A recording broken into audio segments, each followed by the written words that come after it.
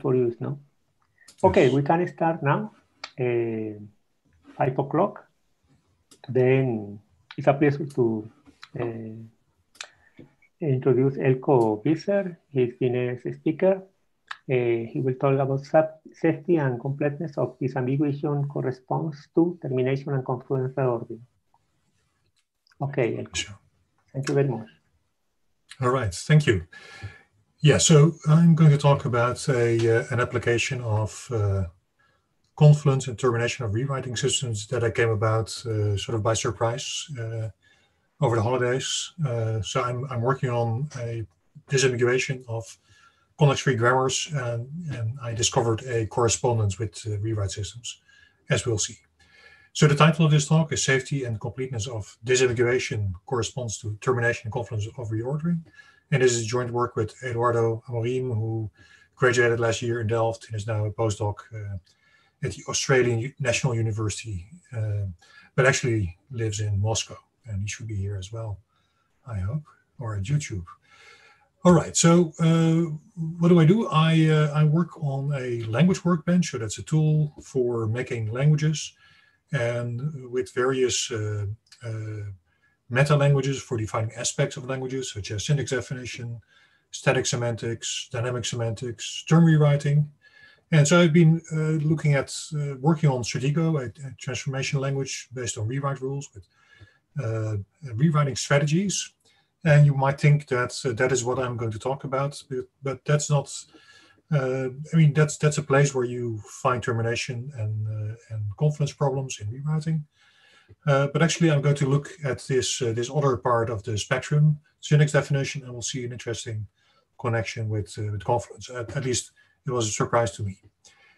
Um, all right, so what, we do, what do we do in syntax definition? Uh, in, in, SDF, uh, this, this language, we write context-free grammars to define languages using context-free productions. For example, an expression is an expression plus an expression.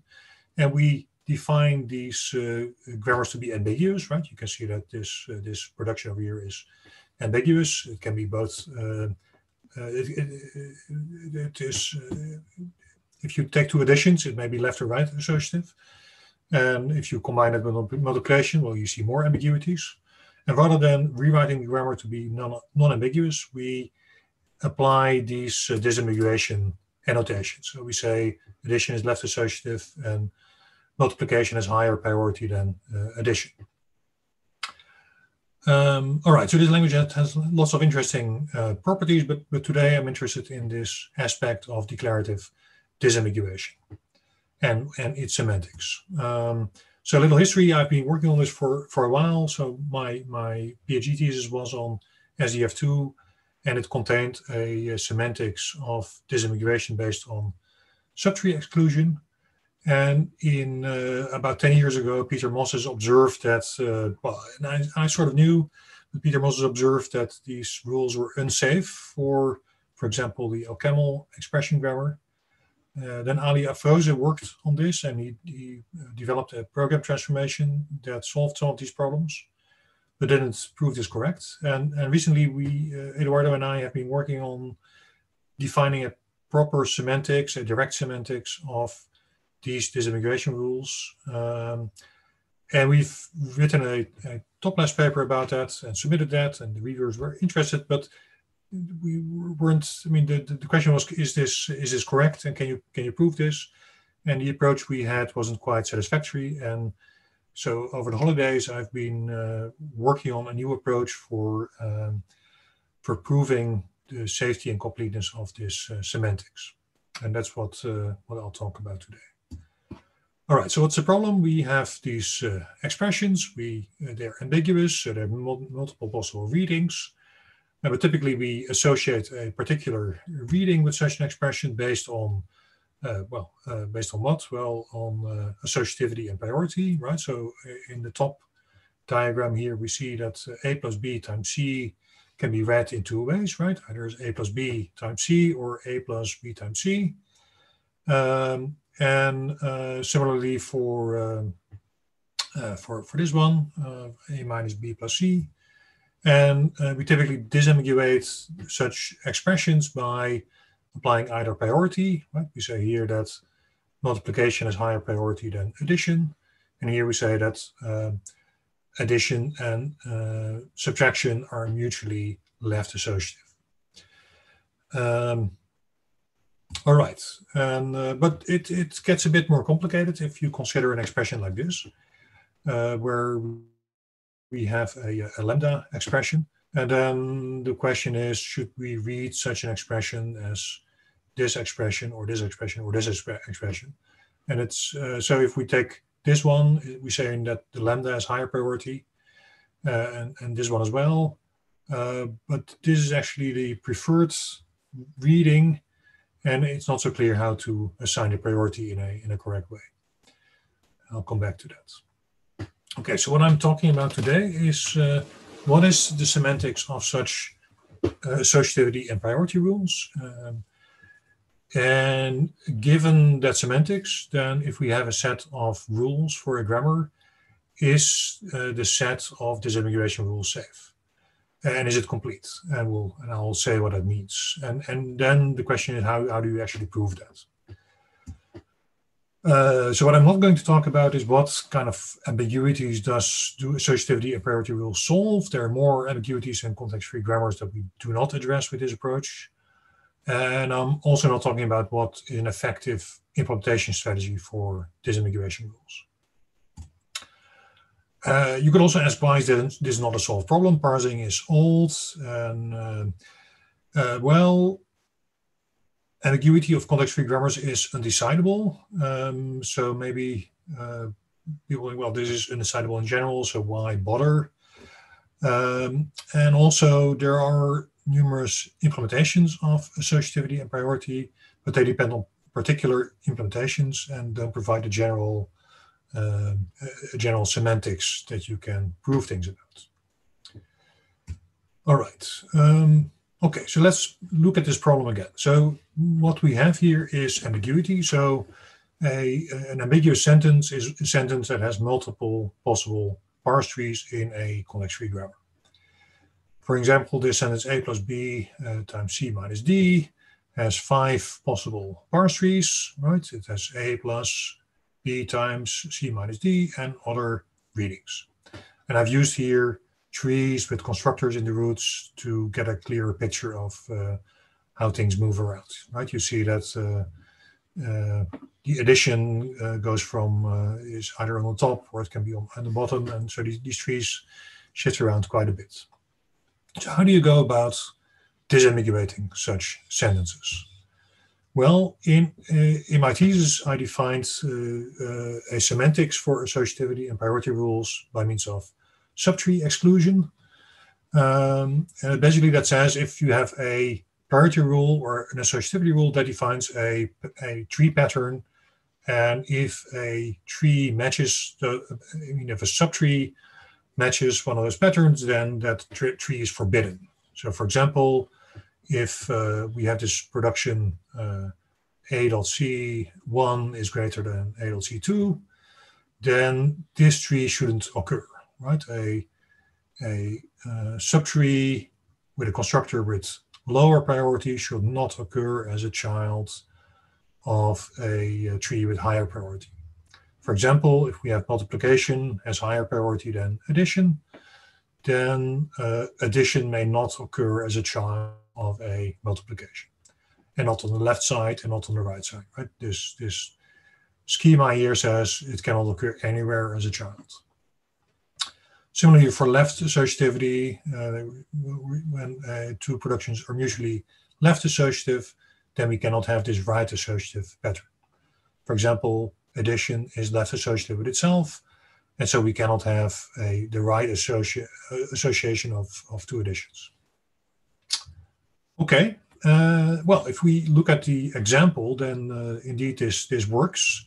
We see that uh, by uh, the, uh, the priority rules that we saw before, uh, we get a bunch of subtree exclusion patterns, and they exclude all but one of the trees for the sentence. So this, by applying these subtree exclusion rules, we disambiguate the sentence and we get the one tree that we uh, expect. Multiplication has highest pre uh, precedence and addition and minus are mutually left associative. Okay. Um, oops. So, um, but now if you extend this to uh, prefix operators, uh, then, well, this still works. For example, we have a, a, minus operator that has higher priority than addition and multiplication. Uh, then we get we get these two rules, and therefore a tree uh, like this or a um, uh, right, a tree like this is forbidden. A tree like this is forbidden because multiplication is higher priority than addition. And therefore, this is the only valid sentence for this, uh, uh, the only valid tree for this sentence. However, this approach is unsafe for um, low priority prefix operators like that lambda that we saw before. Um, so the if you look at the if we have addition as higher priority than lambda, so typically what we want in a lambda is that it uh, it extends as far as to the right as possible. So it uh, if we have a lambda of an addition, then the the lambda or the addition is under the lambda, and we don't have an addition of uh, of a of a lambda with something. Uh, so therefore, we want lambda to have low priority, and we would get these two rules. Um, right, so lambda cannot occur on the left of an addition, and nor can it occur on the right of an addition. But now we get that uh, all these three uh, trees for the sentence uh, a plus lambda x, b plus c are forbidden because they all of them match one of these patterns. Um, okay, so this is the unsafety problem that, that Peter Mosses uh, observed. And, um, uh, and, and so what we did is a, uh, come up with a uh, solution, a safe subtree exclusion rules uh, that we uh, use in SDF3. And the rules are as follows. So um, only um, so we have associativity rules only on, on binary uh, operations, so uh, productions that are both left and right recursive. And for priority, we have a priority rule that only applies if uh, uh a, a low priority uh, production is on the left of a uh, higher priority production and it is right associative or when it's on the right of a, uh, a higher priority production uh, and it is left associative. And well, these rules are, are, are safe. And now we get, uh, so what we uh, now get is that we don't forbid this pattern because there's only the sentence a plus lambda uh, x plus b uh, dot b only has one one parse, right? You cannot, there's no way you can um, put the lambda on top of the uh, addition here. So we're not forbidding this pattern anymore, only this pattern, and that, that makes the, the definition safe. However, this introduces another problem. Uh, it's now incomplete.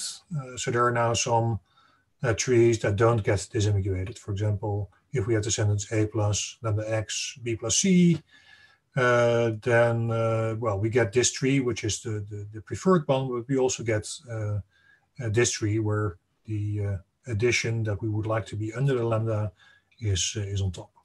And to prevent that, uh, we, we, we cannot use these shallow patterns anymore, but rather we need deep, we need deep patterns. So we need an infinite amount of, of patterns, and we've formalized that in a notion of deep priority conflicts and that uh, forbids a pattern like this, and we get the uh, right that the there might be any number of uh, of productions. So the, the, lambda might occur on the right most edge of this uh, of this left child of an addition, and that conflict will be detected with our new semantics. All right, so so that leads to a semantics of uh, associativity and priority that works for um, infix operators, pref prefix operators, uh, and postfix operators, both with prefix and, if, and, and uh, postfix operators with high and low priority. And, uh, and we've integrated this in an implementation of SDF3 in a, in a parser generator, and it has been available in our language workbench for a while. Uh, now the question is, um, uh, and it works for things like uh, bindings and OCaml and, and, lambdas and all these kinds of functional constructs that have low priority. Um, now the question is, is this correct? And so, so of course we we uh, we have the, uh, the, the intuition that this is correct, and um, but but how do you actually uh, prove this? Uh, so first, the question is: Is a set of disambiguation rules safe for a particular grammar, and is it complete? Um, and then how do you prove that? And um, all right. So, so when is it? Uh, what is safety and completeness? Uh, so, safety means that um, uh, that all the sentences in the underlying context-free grammar are do have a parse tree in the disambiguated grammar. And completeness means that each sentence had, has at most one parse tree in the uh, in the disambiguated grammar. So, for each sentence, you get exactly one uh, one parse tree. So for example, the, the rules that we saw before, uh, multiplication has higher priority than, uh, than, than, minus, addition is left associative with minus, and, and multiplication has higher priority than addition, is uh, safe and complete for this uh, for this fragment, right? Which which results in this uh, this sentence being uh, having exactly one one parse tree. Um, Okay, and so when do we get unsafety? Well, when we have too many um, disambiguation rules. For example, if you would add uh, to that grammar a rule that says that not only is addition left associative with minus, but it's also right associative, then we would forbid uh, this tree and we would have no trees left. Uh, similarly, uh, incompleteness means that we are we miss rules. Uh, if we don't have to, if we don't have sufficiently many rules, then we will uh, have more than one tree per sentence. Okay, um, so that's that's semantics and, and criteria for safety and completeness. Now, how do we prove that if we have a grammar with sufficiently many rules, we always have a um, disambiguated uh, grammar? So what we want is a notion of uh, trees with uh, uh without conflicts. So that's the subtree of trees uh, induced by a grammar that has no uh, that has no that have no conflicts. And then for safety, if there is a sentence in the grammar, uh, then uh, there should be a tree in that uh, tree under subtree exclusion, in that set of trees under subtree exclusion. Uh, that doesn't that doesn't have a conflict, right? And that that has a the, the yield of the tree should be the, the sentence and for completeness, there should uh, there, there should be at most be one such tree. Uh, so the essence, uh, so the of the proof is if uh, to prove safety, uh, if some tree has a conflict, then there's another tree that doesn't have a conflict. And for completeness, uh, you want to argue if a tree doesn't have a conflict, then there should not be another tree for that same sentence that has a conflict. And uh, so the problem is that subtree exclusion applies to a single tree. You say, well, this tree is wrong. Uh, how do we, I know if this tree is wrong that there's another tree that that that is right, that doesn't have a conflict?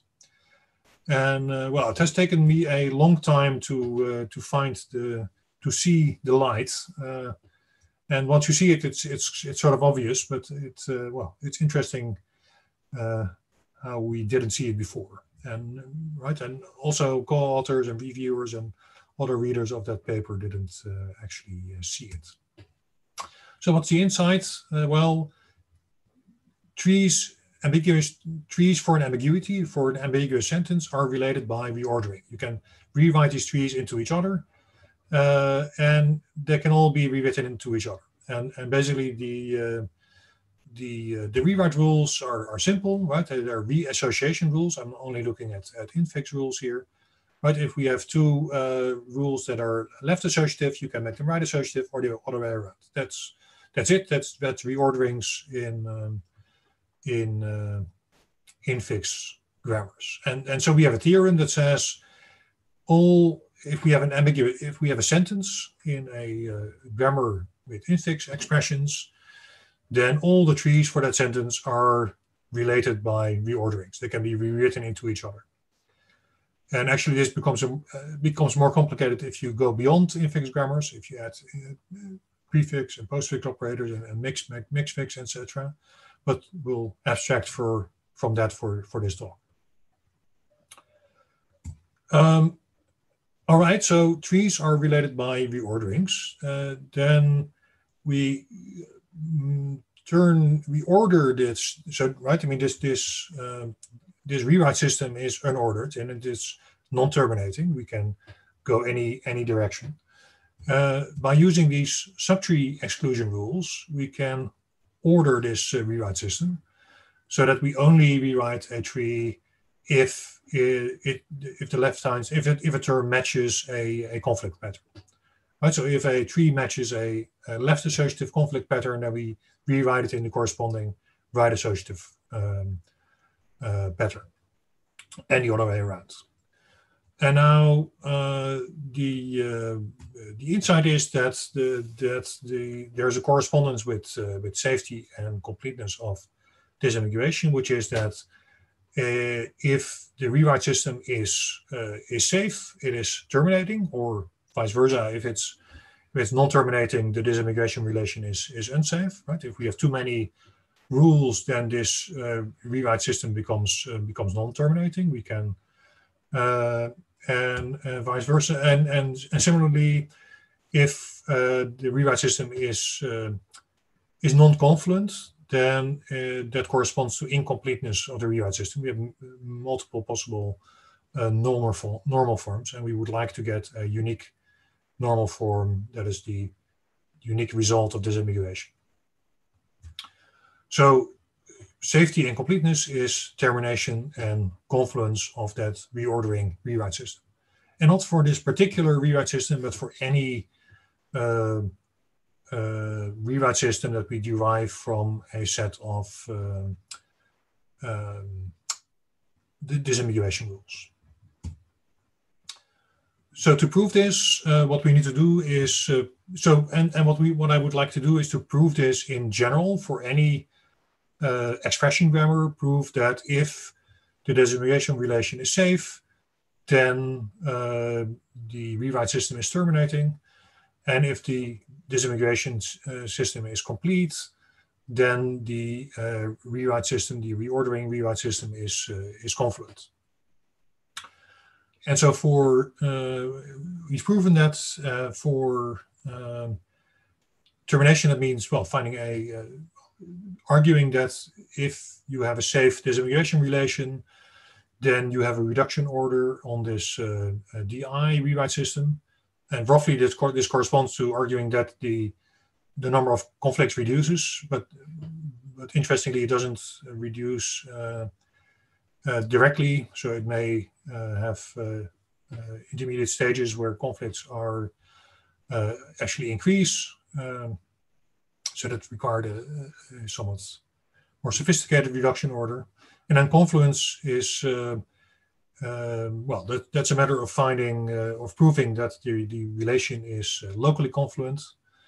And, um, and that meant, well, this, this DI system for infix expression grammars has two rules and five critical pairs. And, uh, and what is interesting is that those rules are conditional rewrite rules. Uh, and um, Right, and, and then if you extend this to uh, prefix and postfix operators, I first tried to do this by hand, but then find out that if you want to extend this to prefix and postfix operators, it becomes complicated. Then we had eight rules, which amount to 28 critical pairs and 36 cases. And so I ended up implementing, uh, uh, finding and rewriting the critical pairs in, uh, in the Stratego uh, transformation language. And it looks uh, like this. So you define uh, rewrite rules. In this in this case, the so conditional rewrite rules for um, for for parse trees uh, that are conditional on on patterns. So here we say, well, this is a subtree exclusion pattern. if a term matches this this pattern, then we rewrite it to this one, and this one is the the right to left associative one. And then uh, what the tool does, it it uh, it looks at those rules, finds the critical pairs, and then figures out what the derived relations are. So these um, conflict patterns correspond to priority and associativity rules, and we have to consider uh, all the combinations that are implied by these subtree exclusion patterns, and then figure out what the derived relations are. For example, if we, uh, and, and, and here it became clear that, for example, transitivity of priority is key to uh, proving this correct, otherwise uh, this wouldn't work out. So for example, if, if uh, C1 and C2 uh, if we have this this relation, then we uh, and, and we have this relation, then um, well, it turns out that in this case, all the cases imply that we have C1 should have higher priority than C2, C3, and then we can use that uh, implied relation in rewriting the critical pair. Right? So here we start with uh, the term that we, with the, critical pair that we got from the two rules we rewrite it in, uh, starting with the, the rule that they derive from. And then we can use uh, this, uh, this condition in order to, uh, to finish the, uh, the diagram. Um, and um, yes. Okay, um, so what have we done? We have uh, defined a semantics of associative and associativity and priority, uh, determine the conditions when such rules are safe and complete, and then uh, devised a, uh, a mechanism for proving that that method is uh, is uh, correct in general by uh, the correspondence of disambiguation which with termination and, and confluence of the, the ordering rewrite system. Uh, let me uh, go to questions.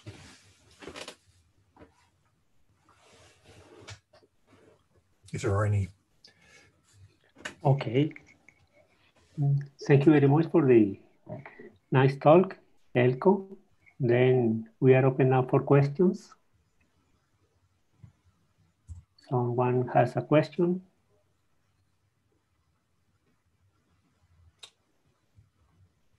I, can, I, I can just. Okay, no, uh, what I think is interesting is that you mentioned that this work is related with a, a bigger project, no? I think, I don't know whether that was clear because it's mm -hmm. part of a Toplas paper, no?